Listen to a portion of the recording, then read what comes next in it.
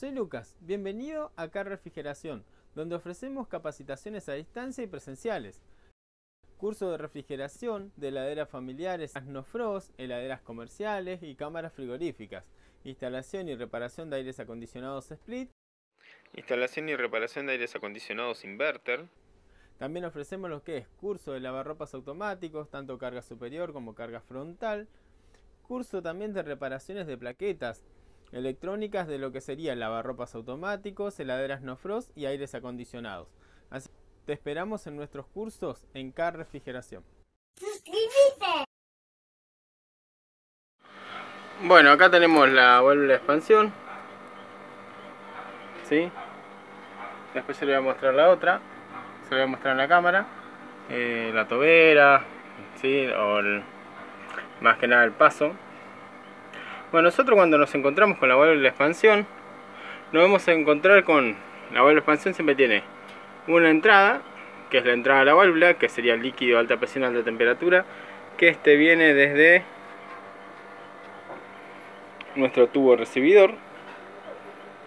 Acá sería nuestro tubo recibidor, que nuestro tubo recibidor sale acá, pero toma el líquido del condensador, ¿sí? O sea que es líquido alta presión, alta temperatura líquido saturado es lo que sale y me llega a la válvula. Por ende llega por un caño más fino y sale por un caño más grueso, o sea se expande. O sea que la conexión más gruesa de la válvula de expansión siempre va conectada al evaporador. Y la conexión más fina va conectada a la línea que viene de líquido. Entonces nosotros lo que vamos a hacer siempre que tengamos válvula de expansión vamos a tener un tubo recibidor ¿sí? entonces yo este tubo recibidor voy a tener una toma de servicio que va a estar acá donde voy a conectar mi manifold pero el manómetro con la manguera de alta. La manguera de alta va a ser la que va a ir conectada en este toma de servicio. Y vamos a tener de este lado la manguera que vamos a conectar en la parte de succión la manguera de baja bueno, entonces acá vamos a conectar la manguera de baja, la toma de servicio. Va a ir conectada de este lado y acá la parte de alta. Nosotros vamos a tener dos presiones. En el manifold de azul vamos a tener la parte de baja, en el manifold en la parte de rojo vamos a tener la parte de alta. Entonces, si nosotros prestamos atención, la válvula de expansión divide la parte de alta y la parte de baja. Nosotros si recorremos este evaporador casero, vemos que tenemos en la salida el bulbo de la válvula de expansión, que ahora lo voy a explicar. Y ya de acá después retorna, pega toda la vuelta y llega hacia la parte de succión. ¿Eso qué quiere decir? Quiere decir que la que divide la presión de alta y de baja es la válvula de expansión en este caso. Si el compresor también cumple la función de dividir las presiones. Eleva para un lado, succiona para el otro, un lado queda baja y el otro lado alta, pero el que logra bajar la presión para un lado es la válvula de expansión, hace lo opuesto al compresor. Entonces, nosotros en teoría vamos a encontrar que nos dicen que tenemos que tener una diferencia, esto es una diferencia entre la temperatura del refrigerante que ingresa con la temperatura del refrigerante que sale vamos a tener una diferencia teóricamente de 4 a 5 grados, ¿sí? con tolerancia de 4 a 6 o 7 grados a veces, eh, ¿sí? con manifold analógico es posible que aunque nosotros lo calculemos de una u otra manera, puede ser que tengamos un recalentamiento más grande o más chico. Bueno, primero y principal, eh, yo le coloqué acá con precinto, igual... Eh, un aislante térmico ya que acá esto no está puesto dentro de una heladera así que la temperatura es muy diferente. La ambiente nunca baja entonces eh, está expuesto a temperaturas con calor y puede marear a nuestro a nuestro bulbo. Entonces yo lo encerré ahí. Después tenemos esta tipo de abrazadera que viene ya con las medidas ahí atrás. Es la que va a sujetar el bulbo de la válvula de expansión bueno, el tema de acá es cómo la regulamos nosotros eh, básicamente. ¿sí? ¿Cómo hacemos para regular una válvula de expansión básicamente si no tenemos un texto eh, que nos pueda indicar las temperaturas de cada caño, de todo? Si bien la temperatura de recalentamiento, nosotros lo que vamos a hacer es medir si la temperatura del caño de entrada, ¿sí?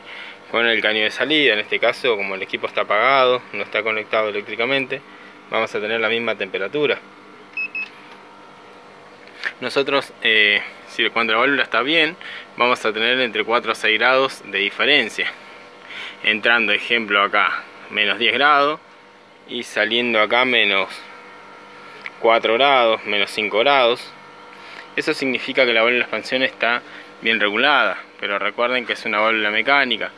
Al ser mecánica lo que está haciendo es, con la temperatura que va sensando, con esa misma temperatura, este refrigerante que tiene dentro, lo que va haciendo es expandirse o contraerse a causa de la temperatura.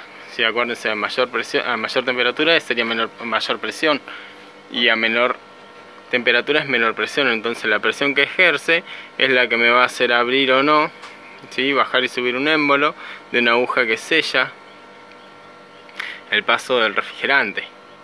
Entonces, nosotros tenemos acá, sellamos, ¿sí? nunca sella del todo, pero abrimos cuando acá hay temperatura. Cuando hay temperatura, ¿qué quiere decir? Que me está faltando líquido en el evaporador. Entonces le inyecta líquido y cuando ya este va bajando la temperatura se contrae, por ende empieza a cerrar la válvula de expansión, por ende nunca es estable, estable la presión. Siempre va variando por el tema de que abre, cierra, abre, cierra. Nosotros lo que tenemos que dejar es un punto que no tenga retorno ni tampoco me falta refrigerante. Por ende también lo que nosotros podemos hacer es, esto va fuera de la parte teórica, ¿sí? nosotros dijimos que también podemos regularla midiendo la temperatura acá. Decimos, bueno, tengo que tener diferencia de 4 grados, pero la temperatura que tenemos acá debe coincidir aproximadamente con la temperatura de evaporación, o sea, con la presión que yo tengo. No puedo agarrar y decir tengo una cámara que enfría 0 grados y acá tener menos 35 grados y acá tener menos 30 abajo. No porque estaría mal, por más que tenga esos 4 grados de diferencia. Lo que nosotros tenemos que buscar en una bola de expansión es un equilibrio entre las presiones. Ejemplo, la presión de alta con la presión de baja. Yo debo tener un equilibrio ahí, cuyo equilibrio lo voy a conseguir regulando en este caso si acá tenemos una perillita la cual nosotros vamos a ajustar o desajustar, sería una válvula ¿y qué es lo que vamos a hacer? nosotros cuando abramos vamos a dejar pasar líquido o refrigerante de alta a baja a mayor caudal ¿sí? cuando cerremos eh, dejamos pasar menor caudal por ende cuando yo abro cae un poco la presión de alta y se aumenta la baja, porque estoy dejando pasar de alta a baja. Lo que nosotros tenemos que tener es un equilibrio. Primero debo saber qué refrigerante estoy trabajando. Segundo, debo saber la temperatura ambiente del lugar donde está condensando. Eh, no la temperatura al aire libre al rayo del sol porque sería una locura. ¿sí? Sería la, más que nada la temperatura entrante que tenemos. Yo tengo el condensador, tengo que medir la temperatura entrante. Ejemplo, acá 27 grados será la temperatura que ingresa. Esa temperatura va a ser la que me va a enfriar el refrigerante, o sea, la que me va a ayudar a lograr una condensación. Entonces, lo que yo voy a hacer es, mido la temperatura, ejemplo sería, por decir, 30 grados. Entonces, la presión que debo tener yo, miren, depende de la temperatura ambiente que esté ingresando, voy a tener la presión de alta de salida al tubo recibidor o viene a ser salida del condensador que ingresa al tubo recibidor y sale. Yo dependiendo de la temperatura ambiente va a variar esa presión. Si acuérdense a mayor temperatura mayor presión y a menor temperatura menor presión. Entonces qué me quiere decir que la temperatura me va a indicar. La presión de alta que yo voy a tener en ese momento ese día exacto.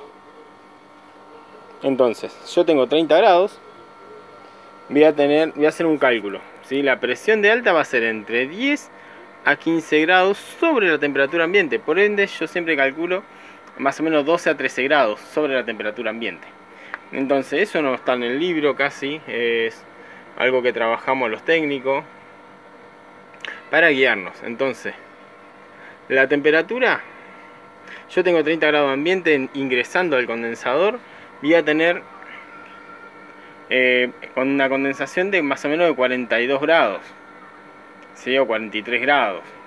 Entonces esos 42 grados, lo que yo voy a hacer es pasar a presión, por eso le dije, tenemos que saber qué refrigerante tenemos. Entonces digo, tal refrigerante a 42 o 43 grados es tal presión. Ejemplo, R22 por decir nomás, no estoy mirando una tabla de presión temperatura ni nada. Ejemplo, R22 a 42 grados, 250 psi por decir, por decir. Entonces, ¿qué quiere decir? Que yo acá tengo que tener 250 psi. ¿Sí? Y por ende, si en R22 yo estoy trabajando evaporando a menos 10, tengo que tener 36 psi por decir. ¿Sí? Entonces digo, 36 psi tengo que tener en la baja. Y acá en la toma del alta, que sería la temperatura o la presión aproximada de la que está entrando acá. 30 y... Eh, acá dijimos 250 por decir. Y vamos a hacer de cuenta que yo acá tengo 20. ¿Sí? O sea, en la baja tengo 20 y en la alta tengo 290. ¿Qué me quiere decir? Que la válvula está muy cerrada porque hay muy poco refrigerante del lado de evaporación, o sea, al lado del evaporador, y mucho mucha presión del lado de alta. Entonces, ¿qué voy a hacer? Voy a abrir la válvula a poquito, voy a esperar un rato, en la cual se estabilice las presiones, y voy a ver que esta debería caer y esta debería aumentar. Si este ejemplo va a caer a 270 y esta va a aumentar a 30, por decir. Lo mismo, después entonces digo, no, falta todavía un poquito más, cierro, voy cerrando y voy esperando el equilibrio de esas presiones. Ahora, ¿qué pasa a la hora de hacer la carga refrigerante? Porque mucho se habla cuando hacemos la carga refrigerante, si la válvula está manoseada o no. Entonces yo digo, bueno, voy a hacer la carga refrigerante. Lo que voy a hacer es agarrar con los manifolds siempre conectados a baja y alta acá. Digo, bueno, empiezo a inyectar refrigerante. Si yo veo que tengo 40 psi en la baja, debería tener 250 en la alta por decir en el ejemplo, y tengo 200, ¿qué quiere decir? Tengo acá 40, 50 y allá tengo 200, quiere decir que esta debería tener 250. Entonces digo, bueno, la válvula está muy, pero muy abierta. Entonces la cierro un poco. Veo qué pasa. De 200 paso a 210, por decir acá, y acá me baja a 230. La, alta tenía. Acá la baja está bien, pues está a 30. Pero este está a 210. Quiere decir que este me falta 40 psi. ¿Qué hago? Inyecto más refrigerante inyecto más refrigerante, veo que esta se me va a 2.35 y acá se me fue otra vez a 2.45 eh, digo perdón a 45 psi este te da más. ¿qué hago? vuelvo a cerrar la válvula de expansión. Entonces este se me va a 2.50 este estaba a 45 me quedan 30 y digo bueno ahí me parece que está bien. Por las dudas le echo un poquito más porque debería tener 35 y ahí la cámara empezaría a enfriar De esa manera vamos a buscando el equilibrio tanto en la carga refrigerante como si teníamos que regularla si llegamos, por ahí la tocó el cliente, por ahí la tocó otro técnico y quedó mal, o se le bloquea de hielo el evaporador, eh, quiere decir a veces que, o que está muy muy muy abierta, ¿sí? eso podría provocar también que se bloquee un poco, pero a veces cuando está muy cerrada hace unas capas de hielo arriba y abajo no tiene nada, tiene una pelota de hielo hacia arriba, tiene como si fuera que tiene poco refrigerante. Entonces está muy clavada arriba y abajo no tiene nada. Eh, lo que le haría falta es que abra un poco la válvula. ¿Sí? Entonces, de esa manera vamos a ir regulando. Bueno, acá tenemos conectado el procesador de baja y de alta. ¿Sí? No está conectada la parte eléctrica. Entonces lo que vamos a hacer en este caso es siempre controlamos presiones de alta y de baja. Y bien, después venimos y corroboramos también las temperaturas, podemos venir a apoyar ahí, medir la temperatura de los caños o agarrar un termómetro común con bulbo, colocarlo ahí, eh, llenarlo de aislante térmico para que solamente capte la temperatura del caño, nunca abajo porque va a captar la temperatura del aceite y tampoco bien arriba, sino eh, como si fuera menos 10 o 10. Entonces de esa manera vamos a captar bien la temperatura, también lo podemos hacer abajo. De la misma manera, de la misma manera va el bulbo si nunca va bien arriba, si no va a menos 10 o 10. Si menos 10 acá, y 10 allá. ¿Sí? De esa manera es como va a ir trabajando. Bueno, después en otro tema podríamos hablar del tema de la solenoides, el tema de los presostatos, ¿sí? el tema de los de las partes de encendido, ¿sí? ya que podemos tener una cámara monofásica o trifásica, podemos encontrarnos con relevo térmico, con tractores, entonces cómo es lo que van conectados, ¿sí? nos podemos encontrar con todos estos componentes que debemos saber cómo conectarlos. Eh, testigos ojo de buey etcétera etcétera el combustato entonces de esa manera vamos a ir progresando un poco en los vivos explicando ¿sí?